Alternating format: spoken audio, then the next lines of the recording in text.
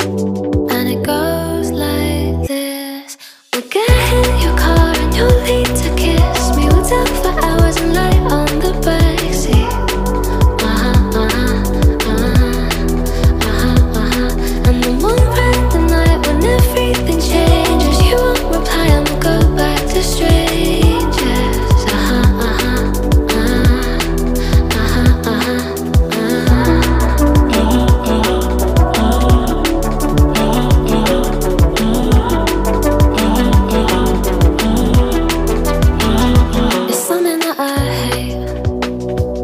Everyone's disposable.